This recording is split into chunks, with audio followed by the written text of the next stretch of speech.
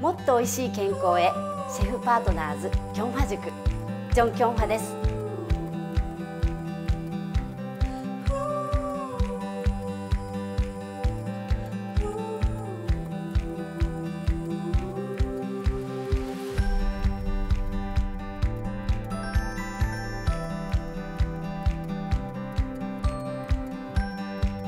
今日はユッケジャンをご紹介します。材料ちょっと見てみますね、えー、一番主材料になるのがこれが牛肉です。人参そして、えー、ズッキーニ彩りの赤ピーマン、えー、ゼンマイもやし、えー、そして、えー、ネギニラこのようなものを使います、えー、では材料、えー、切りましょう、えー、人参は少しだけ使いますね。量は、えー、1本では多いのでだいたいそうですね。このぐらい使いましょうか。えー、少し、えー、厚みを持たせて切ってくださいね、えー、あまり細く切りすぎると、え、出来上がった時にもうあのなくなってしまいますのでね。少しこんな感じで切っていきましょう。人参は単群と言いますね。人参です。それからズッキーニです、えこれは、え朝鮮かぼちゃがあれば、えなおいいんですけれどもズッキーニでも十分美味しいですね、えズッキーニもこれは輪切り。半月切りでもいいですけれども輪切りにした方があのたくさん煮てもあのへたらないのでこのぐらいで輪切りにしていきましょう。でこれは入れる時にこういうズッキーニとか朝鮮かぼちゃくっついてしまうので必ず切ったらこうやってバラバラにしておいてください。それから、えー、赤ピーマンです。種を取っておいてくださいね。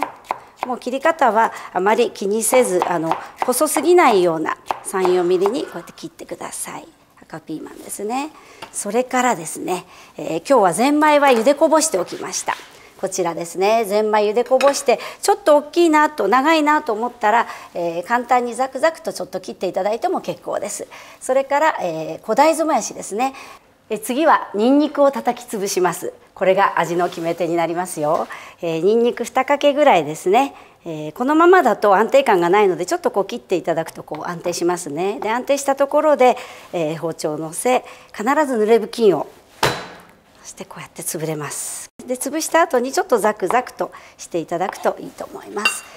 長ネギは少し長さを決めたらこんな風にザクザクとえー、もう細すぎず、えー、太すぎずこんな風に、えー、切っておいてください、えー、次は、えー、このユッケジャンの元になるこのこってりした辛いヤンニョンを合わせたいと思います、えー、こちらにあるのがコチュジャン、えー、コチュジャンのコチュというのは唐辛子です。このコチュジャンにいろんなものが入っていきます、えー、ニンニクマヌルですね。ニンニクそしてソルタンちょっと旨味出しに、えー、砂糖が入ります。そしてコチュカールこれが粉唐辛子ですね、えー、入ります。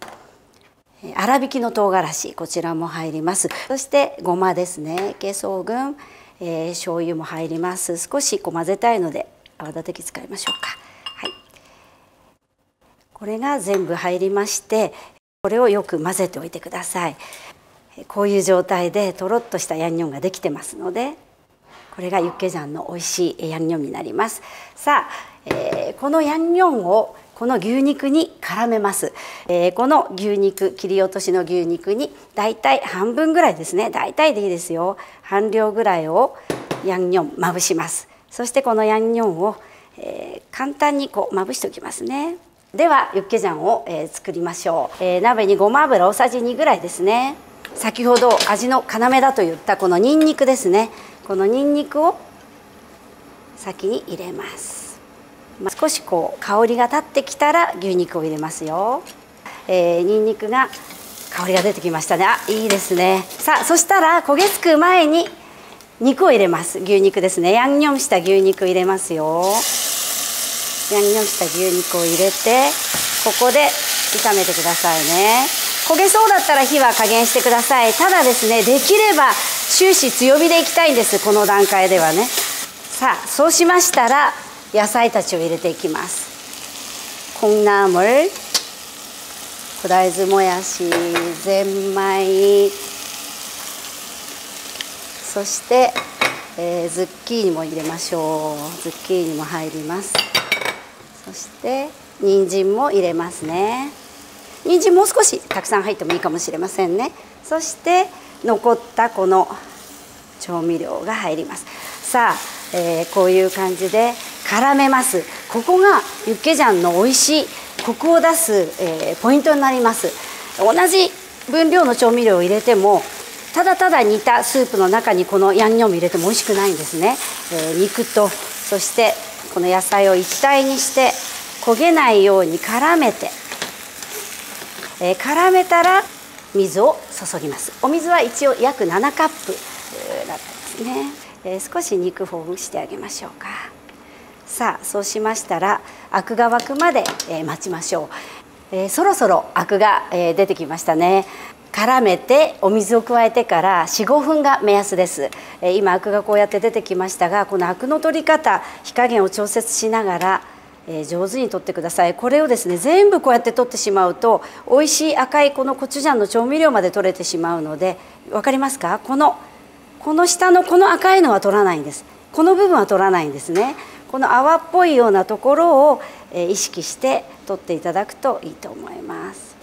アクが取れました。そしたら火を弱めてだいたい10分15分、まあ、長くても20分以上煮ることはありません、えー、材料が一体になって柔らかくなってってきたら、えー、出来上がりです、えー、今日はあの赤ピーマン、えー、赤唐辛子の代わりに彩りで使ってますけれどもこの赤ピーマンも最初から入れてもいいし、えー、この辺のところで入れて、えー、色をきれいに出しても結構です。赤ピーマンじゃ入れましょうね。火加減ですけれどもさっき絡める時は強火でした。でも今からは火加減は、えー、弱めの中火ぐらいですかね、えー、その過程によって違いますけれどもあまりボコボコ踊らない程度にしてだいたいネギが入りますが、えー、それまでもう少し煮込みたいと思います。今、えー、1617分煮えた状態です、えー、しっかりと、えー、材料と肉も調味料も一体になってきましたね。そしたら、えー、後半の野菜を入れます。えー、ザクザクに切った長ネギですね。1本分全部入ります、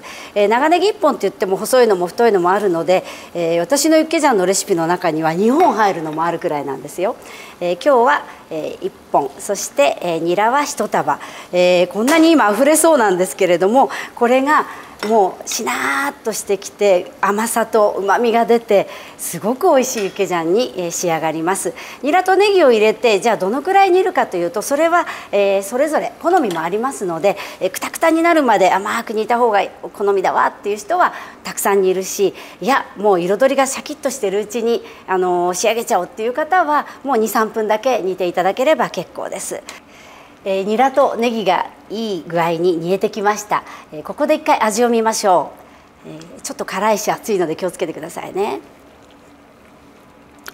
おおマシッソよ。美味しいです、えー、でもちょっと締まりが足りないんですね。なので、えー、レシピに書いてありますようにここで塩、えー、一つまみ、入れてください。これで美味しいユッケジャンの出来上がりです。野菜と肉の旨味がたっぷり詰まったユッケジャン。えー、どうぞ皆さんいろいろ工夫して自分なりにアレンジして、えー、美味しいユッケジャンを楽しんでください。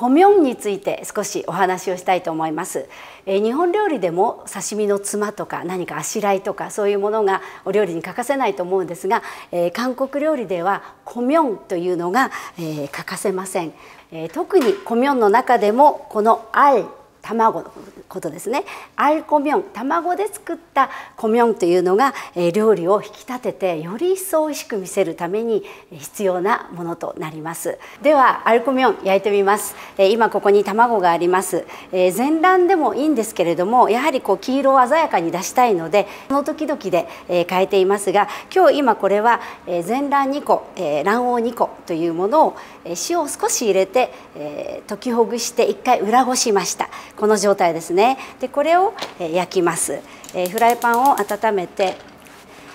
で一旦サラダオイルを敷きましたら余分なオイルは拭き取ってください。余分なオイル拭き取っていただきあだいたい温まったなと思いましたら、えー、これを一回ちょっと濡れ布巾で粗熱さっと取ってください。そうしましたら卵を流します、えー、だいたいこう均等になるように流していただいてお料理によってすごく分厚くしたりすごく薄くしたりするので、えー、こんな風に流しましょう、えー、いきなりふつふつするようだとちょっと温度が高いんですけれども少し今この辺が、えー、生っぽいのでこういうところをちょっと動かしながら、えじっくりと全体にこう火を通しますね。この辺はもう今結構ね火が入ってる感じですね。さあ、えー、ヘリがだいたいこう焼けてきたので完全に焼ける前にこうやって簡単に裏返していただいてそして焼けた順にボンザルに取っていきましょう。こんな感じですね。こっちでもいいでしょうか。粗熱をこう取っていきます。こんな風にして何枚も何枚も次から次へと焼いていきます、えー、もし、えーその気になったら白身も一回こして白身だけを焼いてみて、えー、ファンベッチダンっていうんですけども黄色と白の、えー、アルコミョンを作ってみるのもおすすめです。ではテハチンを作ります。チャングムの誓いにも出てくる、えー、有名な宮中料理の一つです。ではエビを、えー、蒸しましょう、えー、今日はエビは、えー、ブラックタイガーを用意しました、えー、他のエビでももちろん結構です、えー、必ず蒸す前にこの、えー、背わたを取りましょう。まあここからでもどこからでも二関節でもいいんですけれどもこのようにして背わたをこうピューッと引っ張って取りました、えー、残りの、えー、6尾も取っておきましたので、えー、この背わたを取れたエビに軽く塩をしてください、えお酒を振る場合もありますけれども、え今日は必要ありません、え軽く塩をしまして、え蒸気の、え出てきている蒸し器に入れますね。でこれは必ず弱火で蒸してください。この今日の大きさでしたら8分から10分ぐらいかかるかもしれません。小さなエビでしたら56分で蒸せることもあります。火加減は必ず弱火にして蒸しましょう。さあ、えー、そうしましたら、えー他の材料副材料をご紹介します、え今日一番たくさん入るのがこのたけのこなんですけれどもチュクスンと言います、えこのたけのこは茹でて、え下茹でしておきました、え切りましょう、えこのように一口大に切りますね、え絹さやこれもさっと茹でておきました、え人参もえー、このようにしてまあ短冊ぐらいこのぐらいでもいいですしもう少し幅があってもいいですが、えー、こんな感じで下茹でをしときます、えー、実はきゅうりは茹でてるんではなくて塩もみしました。軽く切ったら塩塩で揉んで出てきたお水を拭き取っておきます。そして、えー、手八に欠かせないのがこのアルコミョン。えー、両方白と黄色両方なくてもいいですけれどもできれば、えー、2つあるとより宮中料理っぽくなると思います、えー、材料はエビと、えこのような彩り野菜になります、えエビが柔らかくふっくらと蒸し上がりました。え蒸し上がったエビは、えすぐですと熱くて剥けないので粗熱が取れたぐらいのタイミングを見計らって、えー、きれいに丁寧に剥いてくださいね。えー、蒸し器から出す時に、えー、蒸したらここにこう汁が溜まってるんですね。その蒸し汁をこうやって捨てずに取っておいてください。これが美味しいエビのうま、えー、みが詰まった蒸し汁です、えー、ではエビの方は、えー、そうですね。今日のこの大きさだったら3等分ぐらいに切りましょうか、えー、エビを切ります。少しこうそぐような形でこうやって切ると盛り付けた時も綺麗なので、えー、こんな風にこう太いところをそぎまたこちらはこうそぎ尻尾の方はあまり削いでしまうと厚みがなくなってしまうので、えー、考えながら、えー、上手に3等分ぐらいに削いでください。え、エビがテハと言いますので、え、エビを蒸した料理でテハチンという料理ですね。え、松の実ヤンニョム作ります。さあ松の実ですが松の実は一回、えー、軽くいっておきました、えー、松の実をこう見ますとここの頭みたいのがついてるんですね。薄い薄皮がついてるのでそれはきれいに、えー、取ってください。いったものを、えー、このように、え細かくみじん切りするんですが今はこのようにして、えー簡単におろせますので、えこうやって本当に細かい、え松の実のみじん切りができます。これを、え混ぜていきますよ、えホワイトペッパーとかそれから塩とか砂糖とかこれらのものが入ります。え塩味なのでご自分でね味をあの確かめられるといいと思います。チャムギールムごま油も入りました。本当にこのソースはね美味しくってあの私のあの長女もシンガポールにいるんですけれども彼の長女もこの松の実ヤンニョンを作っていろんな素材をあえて楽しんでいます。仕上がりちょっと少し緩いかなという感じですけれども緩いかなと思ったらまた松の実を足すとかあるいはエビのソースこの蒸し汁が足りないともう少し硬かったりしますがその辺はあのご自分で、考えて調節をしてみてください、えではこれで松の実ヤンニョンが出来上がりました、えでは野菜を炒めます、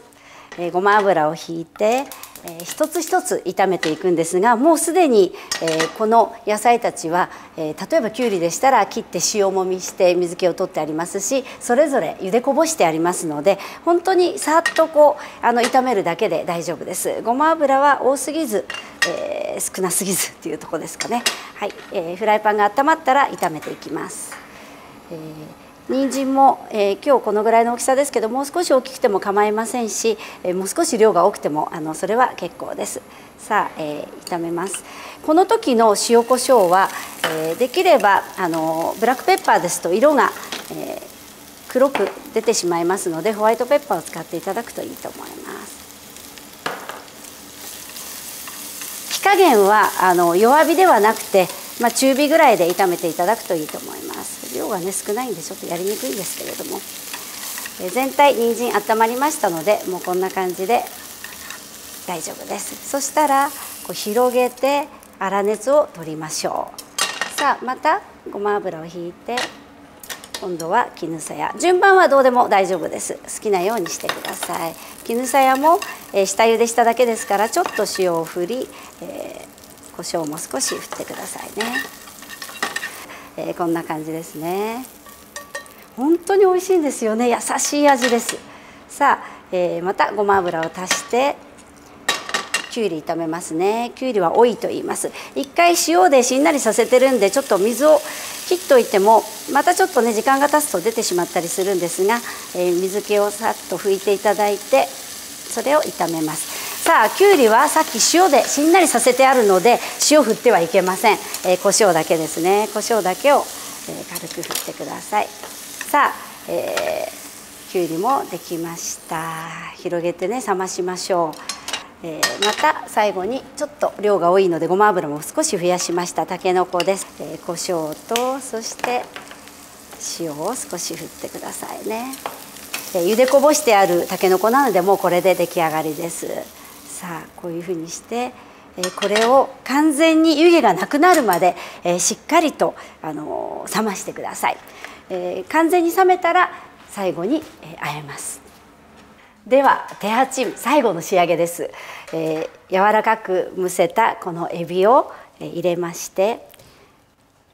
美味しそうですね。そしてこのえ松の実ヤンニョン。大体、え半分ぐらいですかね適量、え先にこのエビにまぶすところがちょっとポイントですね。エビに一度、え味を染みさせてください。野菜たちはみんな塩胡椒味ついてますからね。さあエビに、え衣が絡みましたね。そしたら、え残った野菜全部入れます。え今日きゅうりですけどもきゅうりの他に何かこうインゲンとかそういうものを使ってもいいかもしれませんね。えー、不思議なもんでこれにゼンマイとかそういうものは入れません。もやしも使えません。大体、えー、決まっている食材がこういうきゅうりとか朝鮮かぼちゃとか、えー、たけのことかこういうものが入ります。さあそうしましたら残りのヤンニョンも加えますね。松の実の優しい味ですね、えー、こうやって軽く優しくあえます、えーあの最初に心配だなという方はここでまた味を見ていただいてもいいんですけれども塩味はこれで決まりましたので、えー、こんな風に、えー、あえて仕上がりました。美味しそうですね、えー、では盛り付けます。エビの赤さとそれからこの彩りがとても、えいいと思います。命名盛りにするのもいいですね。はい。そうしましたら最後にアルコミョンですね、え卵のコミョンを飾ります。白と黄色で今日は用意しましたね。本当にこれが入るだけでもうキューチ料理の仕上がりっていう感じがしますね。かしら。さあどうですか、えー、これで手八の出来上がりです、えー、宮中料理の手八、え、松の実ヤンニョンがすごく美味しいので、えー、ぜひ挑戦してみてください。ふっくらとしたエビと彩り豊かな野菜を香ばしい松の実ヤンニョンで和えたテハチン。上品で優しい味の宮中料理です。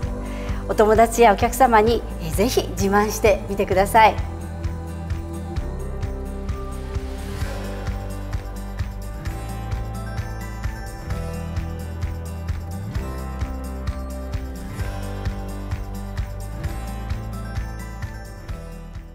では、えー、夏にぴったりのピョンスをご紹介します。えー、ピョンスというのは多分聞いたことがないと思うんですが、えー、韓国では、えー、小麦粉の皮で包んだ料理の類を全部ひっくるめてマンドゥと言います。そして、え蒸したものはチンマンドゥ、えそして、え水っぽく作ったものはムルマンドゥとかあるいはスープに入れたものはマンドゥクっていうふうに言うんですけれども、えそのマンドゥの中でも夏に冷たく冷やして、え爽やかに、え作って食べる、えいわゆるこう水餃子といいますかそれをピョンスと言います。ピョンスの材料をご紹介しましょう、えー、まず主材料は、えー、鶏ひき肉です、えー、鶏ひき肉 150g ぐらいですね。それからきゅうり。きゅうりは今1本映ってますけれども1分の1本ぐらい使いましょう。そして、えー、豆腐です。これは、えー、豆腐を水切りしてあの重しをして水切りして一応こしておきました、えー、お豆腐ですね。それからキムチ。えー、大体 100g ぐらいあればいいと思います、えー、干し椎茸。これもちょっとみじん切りにしておきました。そして長ネギのみじん切りです、えー、ピョンスの特徴はこのきゅうりとお豆腐が入るところすごくあの特徴的だと思うんですがこのきゅうりは今から細切りにして塩で揉みます。長い細切りにならないように短めに斜め具合を少しこうなんていうんですかね。あんまりこう斜めにしないでこのぐらいにすると短い薄切りができますね。2分の1本ぐらいです。このぐらいで2分の1でしょうかね。さあそうしましたらこの薄切りにしたものをこうずらしましてで短めですね。短めの、えー、薄切りができました。そしたらこれを切っていきますね。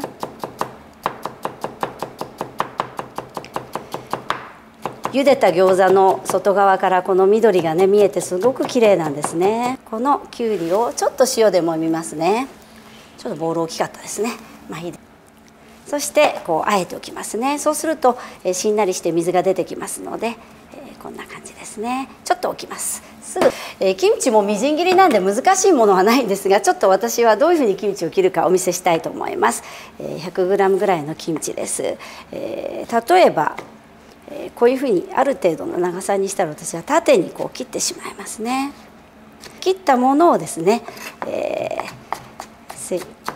今度はこうやって切っていくといっぺんにすごくあのスピーディーに、えみじん切りができますのでなんかズタズタに切るよりもこのような形でいつも、え切っております。えー、ピョンスに使うキムチはあんまり酸っぱくないキムチがいいですね、えー、皆さんが普段使っているような、えーキムチでいいと思います。普通のあのちょうど程よく使ったキムチを使っております。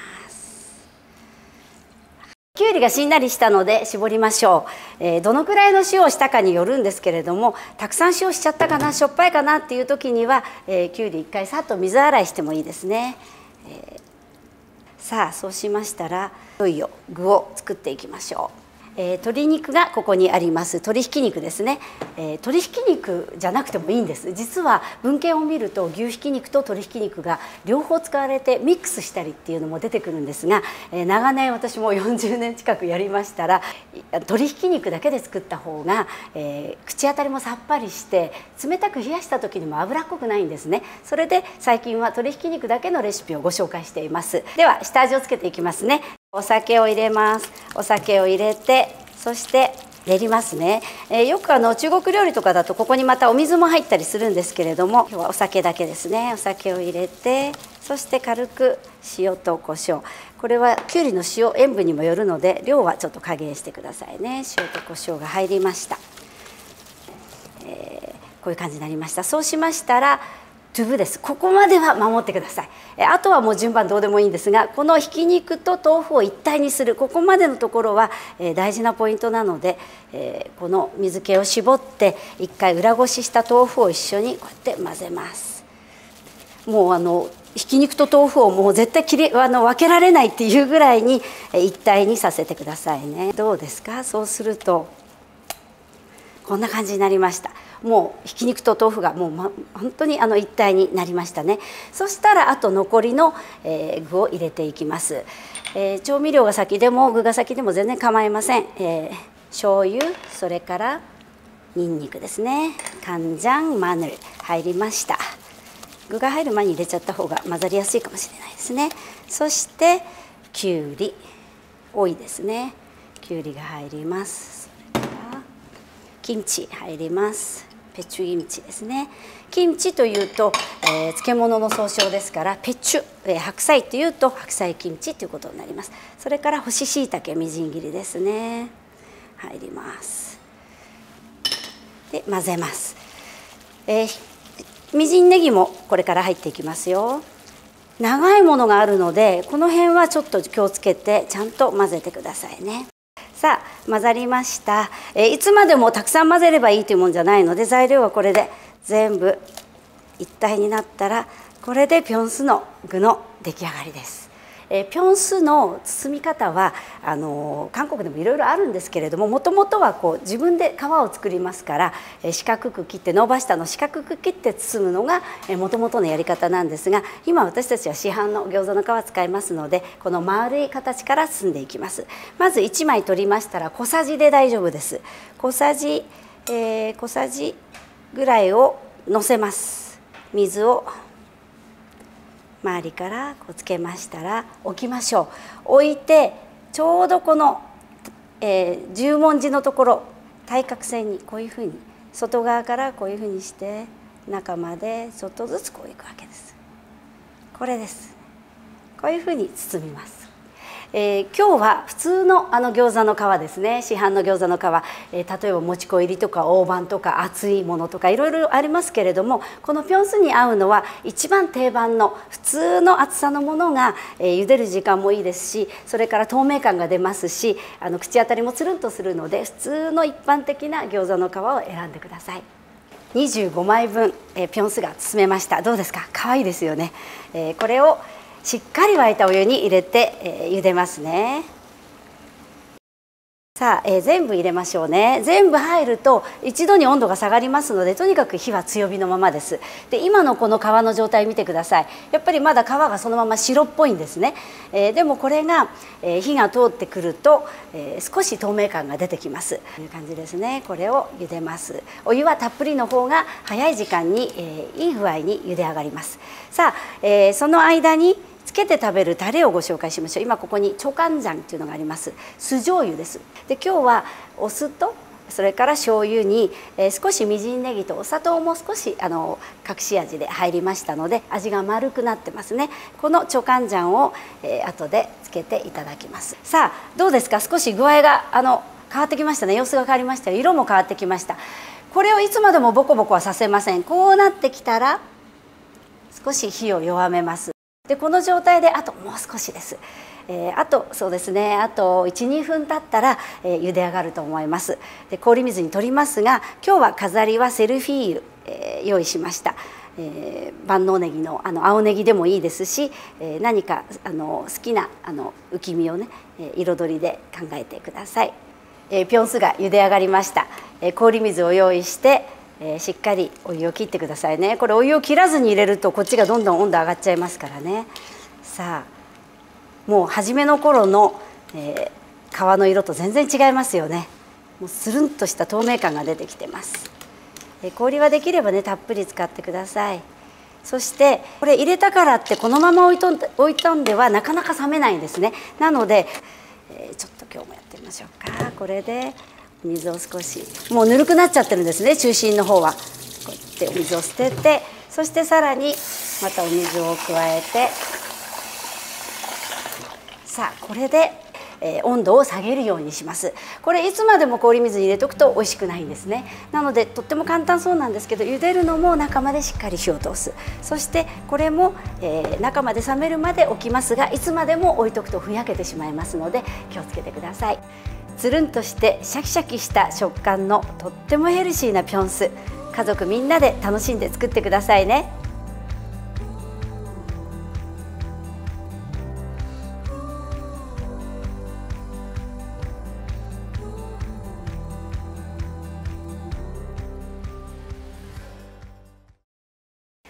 今から金杭を作ります。日本で、え売っている普通の海苔で結構です。これ10枚ですね、えこの10枚の海苔を、えこちらが裏表です。裏の方がすごくこうガサガサしていてこのごま油とかが乗りやすいので私はいつも裏の方に、え塗るようにしています。味はごま油と塩だけです、えごま油を入れてもう本当に適量ですね。そして、え塩も入れます。っていうスプーンの、え背中を使って、え塗りつけていきます。さあごま油と塩をこういうふうに適量混ぜるんですね。そして自分のこの指の延長線上でこの塩の量をこう感じてください。なので分量を何とも言えないですね。こうやってごま油を、え、つけながら塩とごま油をつけながらこのようにして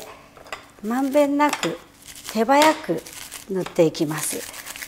そしてまたこれを返しましてまたこの背中にこうやってこんな感じでつけていくわけですね。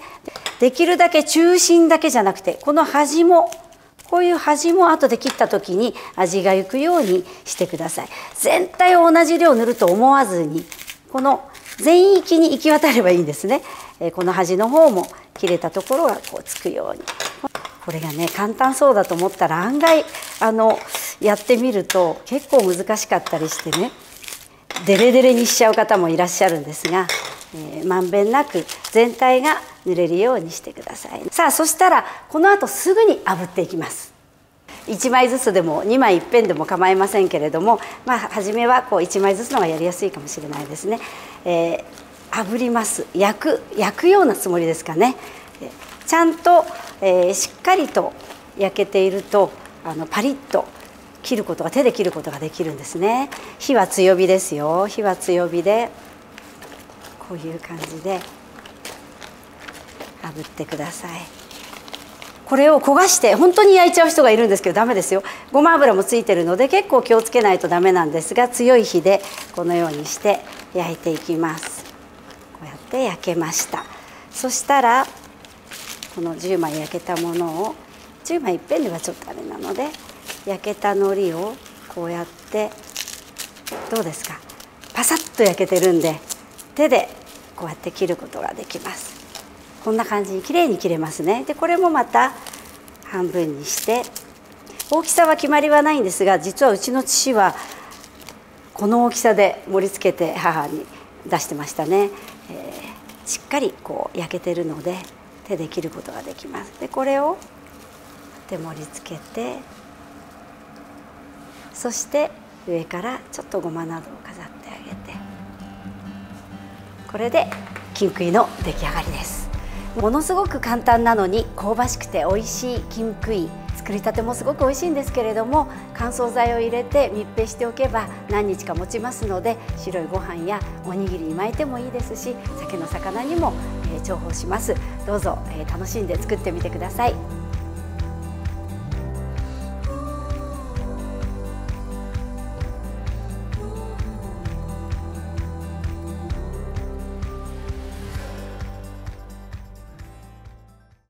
私は食いしん坊で料理家になったんですがえかれこれ42年目になります。20代から40代後半ぐらいまではえ長年調理師専門学校でえプロ向けの授業をしていましたえその頃というのは韓国料理では牛刀それから筋引き骨すき出刃えー、このような包丁を主に使っていました、えー、骨付きのカルビをばらしたりとかいろんな、えー、牛タンを皮を剥いたりとかいろんなことを、えー、してきました。えー、学校でも教えながら、えー、お店の方も厨房に入っていましたので、えー、その頃というのは本当に包丁を研ぐだけでも大変で、えー、でもそのいろんな包丁を使うだけの、えー、いろんな調理が、えー、ありました。で後半の私の料理家人生は、え料理教室講習会、えそういうものを通して、えごく一般の主婦の方たちにあの手軽に作れる韓国料理を、えお伝えするというのが、え主流になりました。えー、本を出したりテレビに出たりそういうこともありますけれども普段私は目の前のお客様に、えー、自分の切り方を見せながら本当にこう料理は楽しいよって切ること楽しいよっていうことを、えー、伝えるのが一番あの楽しい、仕事の一つです。えー、いろんなことを経て例えば日本料理を作る時には柳も使ったりいろんなあの和包丁を使ったりそれから中国料理の授業にも今思い出すと中国中華包丁も使ったりもしてましたね。でも、えー、ああいうプロ向けのいろんな包丁というのは本当に使いこなせないとあまり意味がないんですね、えー、どんな立派な包丁でもちゃんと研いで手入れをしてあげないと使い物にならないんですね。それで、えー、40数年で行き着いたのが、えー、今の私のこの包丁なんです、えー、そんなの使ってるの？って笑われちゃいそうなんですが、えー、実はこのいわゆるこう文化包丁と言われてるこう三徳包丁とも言われてますけどもこの包丁でほとんどのお料理を私は、えー、作っております。お教室でもデモンストレーションでも今は95%この包丁1本です。え、もちろん硬いものを切る時には出刃包丁も使えますし、えー、骨付きを使うことも筋引き使うこともたまにはありますけれども、えー、ほとんどの料理はこの包丁で、えー、作ることができます。